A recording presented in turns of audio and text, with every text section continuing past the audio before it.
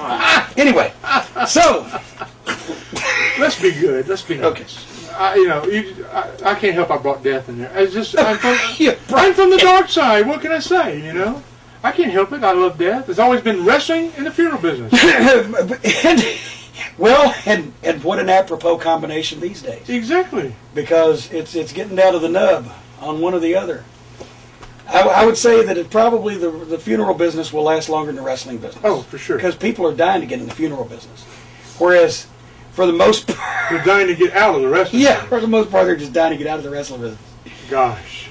Uh, Mercy. what, what do you, I mean, some of the changes are good, but most of them aren't. Um, and I hate to be pessimistic or cynical, but you know, it- it's it's you have to work three times as hard to get half the response.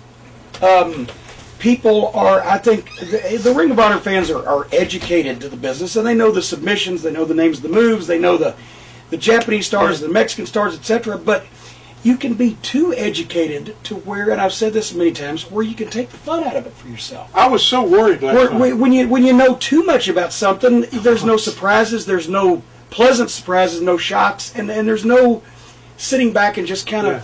relaxing and watching it. You know, I, I don't want to know every single.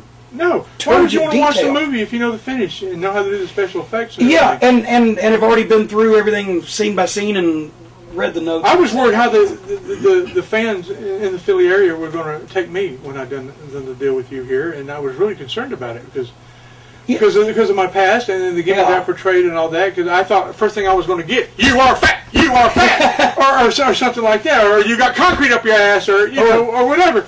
And, and it wasn't that way, and it was so refreshing. Just, Thank you, jeez. Yeah. they remembered. And, And then when you stepped through the curtain, when, when, when I walked out, I was like, okay, I can breathe again. That's the way I Yeah, felt. yeah. That's the way I felt. It was